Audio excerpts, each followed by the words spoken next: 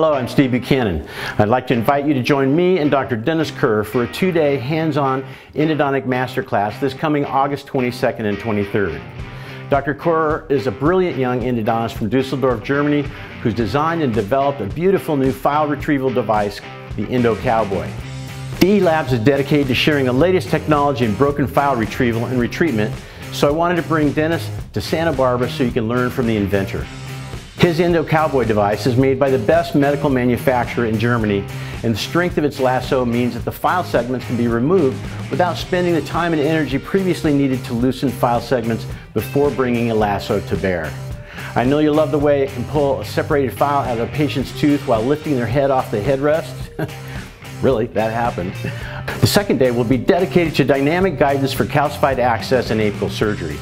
Of all the clinical challenges of endodontic practice, cutting conservative access cavities and calcified teeth is the worst. And finally, we have an elegant, simple to use solution, dynamic optical guidance with XNAV Tech's X-Guide machine.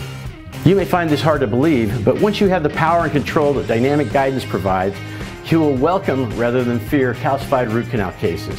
This second day includes live demonstrations of conventional and surgical applications, and everybody in the class will have a chance to experience dynamic guidance for themselves. So please join Dennis and me August 22nd and 23rd at Dental Education Laboratories training facility in beautiful downtown Santa Barbara, California. It'll change your professional life for the better, guaranteed.